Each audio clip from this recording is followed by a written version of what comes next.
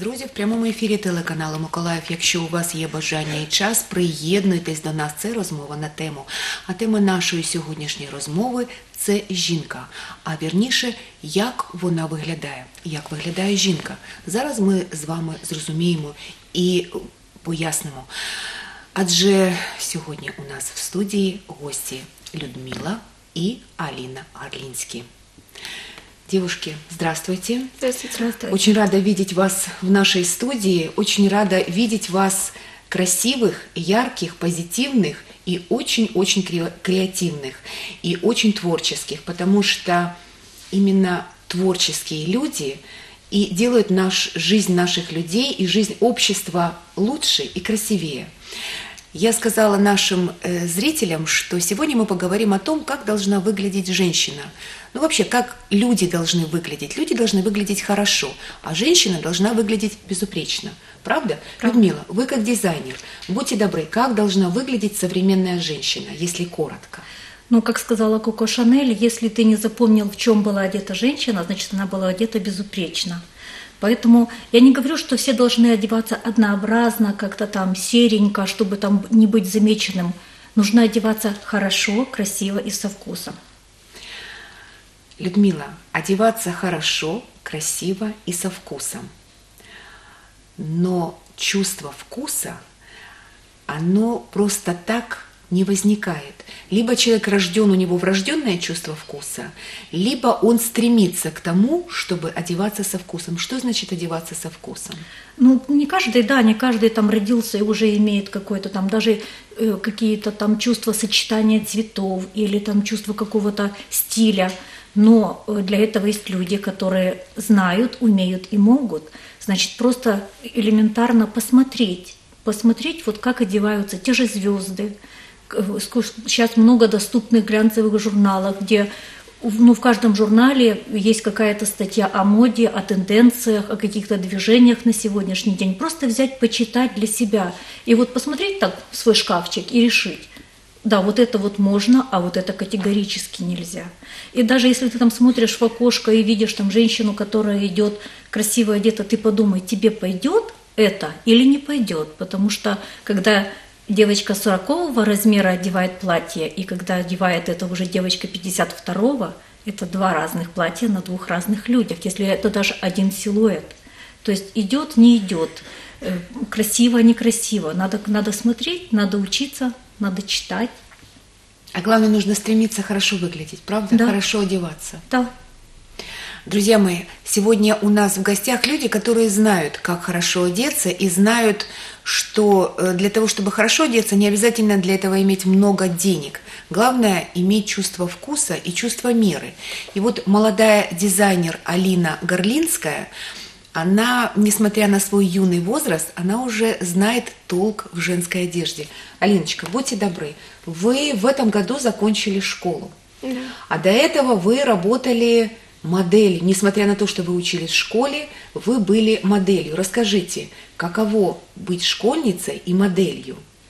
Это, это немножко сложно, потому что надо где-то стараться побольше учиться, потому что эта школа это важнее, скажем, чем модельная карьера. Но так как э, многие девушки мечтают стать на подиум, одеть как э, платье от известного дизайнера, пройтись в нем, чтобы увидели ее э, по телевизору в разных модных журналах, но у некоторых со временем, ну, как угасает вот это желание, у некоторых наоборот, они хотят больше, они хотят э, на мировые подиумы. Ну, для меня как-то года два назад это желание угасло, я решила, что, ну, как-то это не мое. Я побыла, попробовала, э, я поняла, что на то время для меня учеба была важнее, чем модельная карьера, и решила пока, что буду учиться. Но это ведь так ярко, это ведь так и безумно интересно. Молодая девочка, она выходит на подиум, одна одежда, вторая, тут быстренько за кулисах ее пудрят, тут поправляют прическу. Боже мой, это такой стремительный ритм жизни, который не позволяет ни на секунду расслабиться. И вдруг вы поняли, что, в принципе, ходить по подиуму, кроме того, что ходить по подиуму, надо что-то еще делать, да, кроме учебы. Да. И вот вы закончили школу, и вам стало скучно в модельном бизнесе. Да. Ну, как, ну, там все однотипно, ты э, просыпаешься, у тебя какие-то кастинги, показы, съемки, ты приезжаешь домой, ложишься обратно спать, и так, ну, в этом же ритме и живешь. Ну, кому-то это нравится, для кого-то это скучно, неинтересно. То есть, как становится. творческий человек, этот безумный ритм жизни не позволяет проявить себя. Да. И вот вы оставляете работу модели и решаете попробовать себя Дизайнер. в дизайнерстве. Людмила, это вы подтолкнули Алину к такому шагу или это э, лично ее решение? Это больше ее решение. Она рисует, она рисует с детства. У нее как бы много таких разных направлений, в которых она развивается, как-то вот сама совершенствуется. Вот там она может там сидеть, сидеть, что-то вот набросать, наброс- набросать какой-то там себе эскизик, рисуночек, а потом ну как-то вот, а если попробовать вот это воплотить? А давай попробуем. А давай попробуем. А почему нет? Но, скажем так, как и она еще, ну, в большей степени ребенок, еще не особо там Конечно, ребенок еще. ткани, потому что иногда у нее такие идеи, я говорю, это, это несочетаемо. Это вот то, что ты нарисовала, это только может быть на картинке, если это с этой ткани шить, это будет там как тряпочка, как мешок. А давай попробуем с того или с того, вот подберем. И вот мы просто это все подбираем с лоскутков, сложили, да, хорошо, все, шьем, шьем. Так вы сначала разрабатываете, потом вы шьете, а потом вы предлагаете уже людям для того, чтобы они эти вещи попробовали на себе. Да. Да. Но, скажем, когда мы там вот первые вещи отшили, то, что вот, э, как ей казалось, что это, это вау, это шикарно, многие не поняли в Николаеве, что да, это вот неординарно.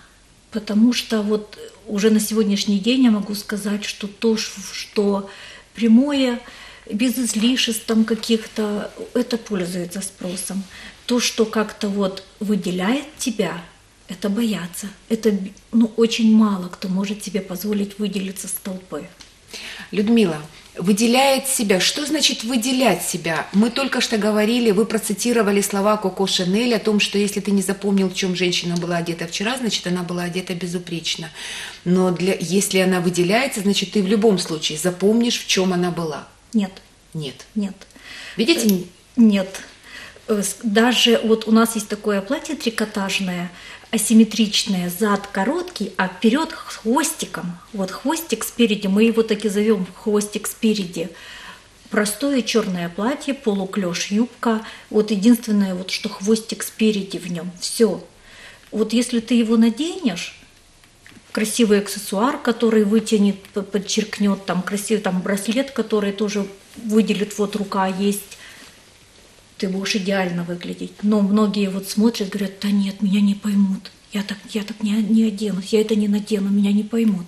Даже не примерив, не посмотрев, что да, это хорошо. А скажите, пожалуйста, когда дизайнер работает над созданием одежды, над созданием модели одежды, чем он руководствуется? Вот, например, об этом платье с хвостиком. Почему именно с хвостиком? Как оно родилось? Ну вот есть сзади хвостики, есть с боков разрезы. У всех. Спери- Да, Э, есть такие э, юбки и разрезы. Сейчас модно впер- спереди коротко, сзади шлейф. А здесь получается здесь у- наоборот. у вас новое веяние сзади коротко, впереди длинно. Почему? Чтобы, не быть, чтобы быть оригинальным или в этом есть красота? Ведь дизайнер в первую очередь должен все-таки стремиться к красоте. В этом есть загадка. Загадка. Да, в этом есть загадка. Просто если ты вот идешь в таком платье, вот интересно, вот на тебя как-то хочется взглянуть, посмотреть, а что там сзади, а как это смотрится сбоку. Это необычно. Это не как у всех. Это вот, ну, это отличие. Это загадка. То есть, э, видите, дорогие телезрители, наши сегодняшние гости, они очень хотят, чтобы вы все, милые наши николаевские женщины, и вообще женщины всего мира, чтобы вы были загадками и не походили одна на другую. А это искусство, и этому искусству нужно учиться. Вот наши гости сегодня и пусть быстро, но все-таки пытаются научить и меня, и вас тоже, и всех, и друг друга, потому что мы друг у друга учимся, правда?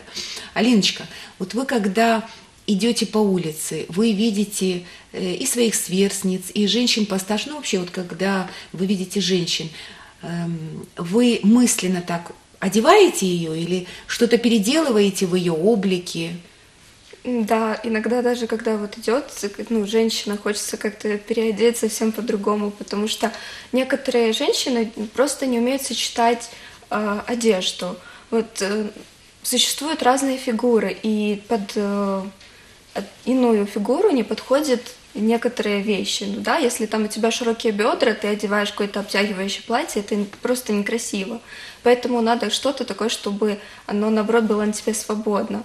И ну, некоторым это нравится, они думают, что они ну, как, как крас красивые. Ну, форму, да, да, что у меня есть попа, там у меня есть талия, но это со стороны смотрится как не очень, скажем. Поэтому есть желание, да, причем немалое желание просто ну, переодеть. А вы никогда не подходили так на улице? Это опасно вообще. Ну, да. это, я понимаю, что это бестактно, но в принципе иногда очень чешутся руки, да? Иногда бывает.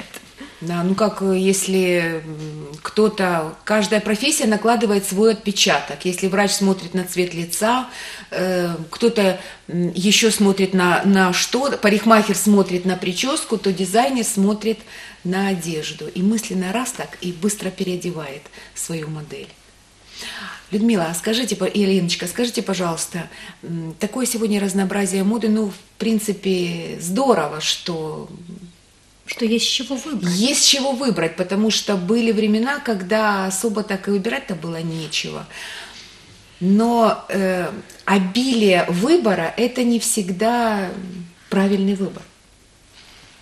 Обилие выбора, ну, на сегодняшний день обилие выбора – это однотипность, это вот рыночный вариант – вот кофточки одного фасона, только разного цвета, там золотые пуговицы там, или перламутровые. И на этом все, и на этом все весь выбор закончился. Если сказать, ну, по сравнению вот как с Советским Союзом, как я рассказываю, мы ходили в школу, идешь в детский мир, и ты просто каждый год покупаешь платье большего размера, одно и то же. Вот точно так же заходишь в там, универмаг, женская одежда – смотришь одно и то же только в размерном ряде. То есть уже надо было как-то вот где-то какой-то платочек, где-то там какой-то воротничок подшивать, какие-то манжетики, то есть чтобы хоть как-то его разнообразить, как-то вот чтобы его как-то окультурить, что ли, вот так. На сегодняшний день, да, на сегодняшний день выбор огромен. Надо просто уметь создать этот ансамбль, вот взять две-три вещи – и вот э, делать себе пятидневку с этих трех вещей, это здорово, и это, это вполне доступно и возможно. Ну, это как французские мединетки, да? То есть сегодня да, она просто да. в черном платье, завтра она в этом же платье, но с цветком, а послезавтра она в этом же платье, но с косынкой. Но с косынкой. Да. да, это действительно м- говорит о большом вкусе, даже при э, отсутствии больших средств. Для этого не надо больших средств. Не надо для этого больших средств, для этого просто надо сочетать сочетаемое, то, что подходит друг другу. А не надевать-то, например, вечернее платье в пайетках на работу, потому что я хочу, чтобы меня там Федя на меня внимание обратил. Федя обратит внимание. Ну, подумает, боже, куда же ты надела ты это платье на работу? А как вы полагаете, Алина, Людмила, что никогда невозможно сочетать? Вот что Э, женщина не имеет права просто одевать. Лосины. Прозра- полупрозрачные лосины, которые как-то сейчас заполонили все и всех, и их сейчас покупают просто на рынке вместо брюк и ходят вот в них вот я красавица. Лосины. А вы имеете в виду лосины? И короткая куртка. Короткая куртка. И шпилька. И шпилька или какие-то такие замшевые сапожечки. И отсутствие юбки. Да-да-да. Я спешила называется. Этот образ называется «Я спешу, спешу». То есть э, лосины, куртка и сапоги без юбки – это недопустимо? Это вообще недопустимо. Лосины – это вообще недопустимо. Это должны быть плоткие, плотные колготки. Плотные ну, лосины, в принципе, это и есть плотные колготки. Плотные колготки, платье, юбка обязательно. Обязательно. Это не есть отдельный элемент одежды, в котором я могу выйти. Поэтому нельзя выходить. Алиночка, как вы считаете, что сегодня модный немножечко такой стиль сочетание несочетаемого? Например, э, какое-то платье такое с широкой юбкой и кеды или нет? Ну, это тоже ну, есть свои плюсы в этом, скажем, ты э, стараешься выделяться, потому что все носят платья под э, туфли, каблуки, скажем, высокие сапоги, да, а тем, кому удобно, те одевают кроссовки. Это нестандартно, это не так, как у всех, но э, тоже надо правильно сочетать, потому что ты э, черное вечернее платье не оденешь под кеды, это будет смотреться глупо просто. Поэтому надо как бы слегка клешное и тоже ну, кеды сейчас как бы разных есть цветов, фасонов, поэтому надо тоже здесь уметь правильно себя показать, ну, не с глупой, скажем, стороны, а как-то красиво, чтобы это выглядело. А вот вы знаете, бывает, э, одевает э, девушка, женщина платье, она одета, в принципе, безупречно, но она не имеет вида, а рядом другая, которая, в принципе, и одета-то и похуже, и с, не с таким вкусом, но она пользуется большим успехом. Как вы думаете, от чего это зависит? Одежда, конечно, по одежке встречают, и я вам даже больше скажу, и провожах. И по одежке встречают, по уму провожают. Нет, по одежке встречают, по одежке же и провожают. Но тем не менее, все-таки бывает, даже одежда не всегда играет. Я думаю, что это какой-то все-таки внутренний шарм. Это как-то сочетание всего. И прическа, и макияж, и одежда, и аксессуары, и то, как ты себя подаешь. Это вот весь полностью, весь образ, скажем, сочетание всего образа. Потому что, да, как бы бывает даже вот смотришь, и женщина идет вроде, ну, шикарное платье, вот, ну, хорошее платье. Красивое, а да, вот как-то это, А вот как-то это не ее, то ли, ну, вот, не сочетание по фигуре платья, да, вот те же самые там широкие плечи, широкие бедра или как там низкий рост. Ну, это вот куча маленьких таких вот маленьких моментов каких-то, которые надо, все надо учитывать. Все надо учитывать. Все это надо как-то подбирать. Всему надо учиться. Можно сказать, что в работе дизайнера нет мелочей? Нет. Э, работа дизайнера Вернее, строится имеет... на мелочах. Ага. Она вот строится вот на мелочах, да, потому что даже, скажем, прямое маленькое черное платье, если его там добавить какое-то кружево, аксессуар, это уже совсем другой наряд, это уже совсем другой вид. Вся работа дизайнера – это мелочи, вот она состоит с маленьких мелочей. Людмила, а у вас есть любимый стиль? в одежде? Да, у меня больше такой стиль casual, такой больше городской, ну как-то вот я сама по себе такой динамичный человек, я не могу сидеть на месте, и как бы мне надо двигаться, двигаться, двигаться. И я больше вот в таком стиле, да.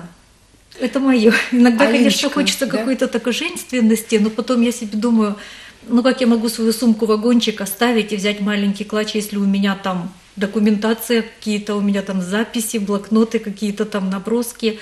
Ну, я, ну как, а если я уже беру сумку-вагончик, соответственно, это уже и одежда под эту сумку.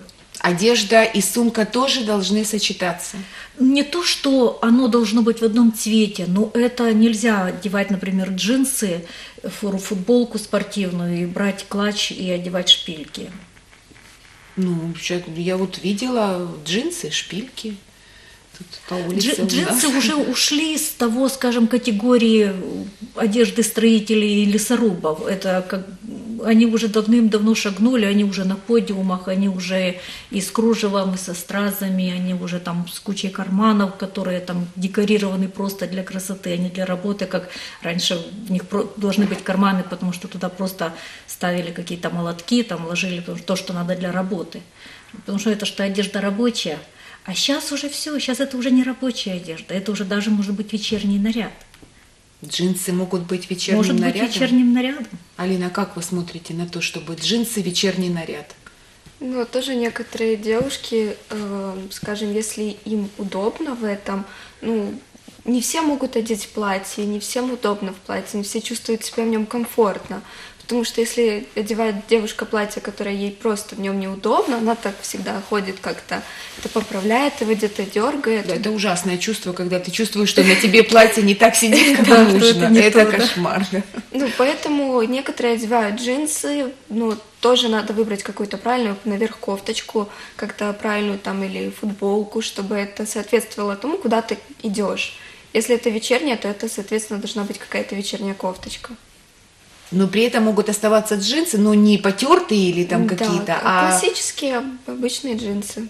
А сейчас модные джинсы разные, есть классические, есть джинсы так называемые бойфренды. Они ведь тоже имеют место, Конечно. и они такие классные, удобные. И почему нет, правда? Да, но тоже, скажем, они имеют место в определенном месте. Если ты идешь на деловую встречу, джинсам нет. Даже там и не бойфренд, там и не там ни потертости, ни дырочек. Э, Но если это джинсы, даже если это джинсы, это могут быть черные, прямые джинсы, вот как формы брюк. Это, ну, это еще допустимо, но не более того. Алиночка, а как вы себя видите в дальнейшем? Вы все-таки хотите стать профессиональным дизайнером, да? Да. И украшать наших женщин, и себя тоже украшать, и этот мир украшать. А в чем вы видите все-таки свою задачу в первую очередь? Вот какой у вас сегодня стиль? К чему вы стремитесь? Ну, с Людмилой понятно уже, да, мы разобрались, что это такой стиль элегантный, изысканный. А ваш стиль? Вы такая юная. Но сейчас, э, скажем, э, большинство женщин, девушек, они отказались от юбок, носят шорты, носят джинсы, брюки, бойфренды, но все-таки женщина должна оставаться женщиной, и она должна одевать платье, она должна носить юбки, э, ну, даже там не каждый день, если уже как бы неудобно там некоторым, то можно одевать их просто почаще. Поэтому моя коллекция состоит в том, что э, в ней есть платья, есть юбки, э, рубашки. Даже под юбку э, я начала, ну, начала как бы шить свитшоты. Там, ну, тоже как бы не такие, что вот как мужская кофта она должна быть, но подчеркивает талию, ну, как бы под юбочку тоже, что можно ее одеть. Вот что интересно, женщины шагнули э, в ногу с мужчиной, ну, очень долго боролись женщины за свои права, и вот наконец-то и брюки могут носить, и пиджаки носят. Но мне кажется, что даже самый элегантный пиджак, он не делает женщину женственной. Может быть, я ошибаюсь? Нет. Вот да, Коко Хотя это Шанель- очень удобно, у меня тоже есть пиджаки. Это очень удобно. Да. Вот я говорю, Коко Шанель надо отдать должное. Она надела брюки и пиджак на женщину, убрала корсет и позволила дышать. Но вместе с тем она убрала какой-то вот кусочек женщины. Она вот как-то убрала нежность какую-то, вот загадку ту же самую, потому что ну вот женщина в брюках и женщина в юбке – это два разных образа, это два разных вида, два разных ощущения. Потому что юбка это все-таки, особенно если это юбка в пол, это вот эта загадка, это вот какая-то вот, я не знаю, мечты какие-то. Это интересно, это хочется вот как-то надеть и идти. То есть длинные... Вы за длинные платья? Не совсем за длинные, скажем, ну, я за женственные платья. То есть это вот и три четверти рукавчик, вот, который показывает запястье, вот это и вот до колена платье, которое показывает красивую коленку, там, и опять же это длинная, длинная юбка, которая вот идет колышется, которая вот играет с ветром, это красиво, это, это необычно. В наше время это очень редко, кого можно вообще увидеть. Наши как-то женщины больше реально ну, начали одевать не, не просто стали, не просто стали как-то вот одевать брюки, они как-то постепенно превращаются в мужчин. Это ужасно. Мы надеемся, что до этого мы никогда не дойдем. Знаете почему? Потому что есть люди, которые всегда напомнят, женщины, вы женщины, и все-таки юбка и платье – это свойственно женщине. И мужчина никогда не оденет юбку, а женщина может одеть и брюки, и юбку. Это здорово. Друзья мои, спасибо вам большое, что вы были у нас сегодня в эфире. Такой хороший, добрый эфир. И я надеюсь, спасибо. что и телезрительницы получили удовольствие, и телезрители тоже, потому что посмотрели на красивых женщин. И напоминаю, что у нас в эфире были Людмила и Алина Горлинские, дизайнеры, которые знают и очень хотят, чтобы вы, милые телезрительницы, одевались красиво, хорошо і були щасливі і красиві. Це була розмова на тему. На все добре. Música